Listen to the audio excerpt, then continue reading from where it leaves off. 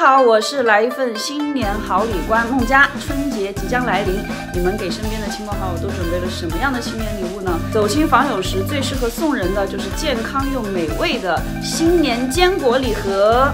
噔噔，看，是的，我平时呢就超爱和朋友们一起炫零食。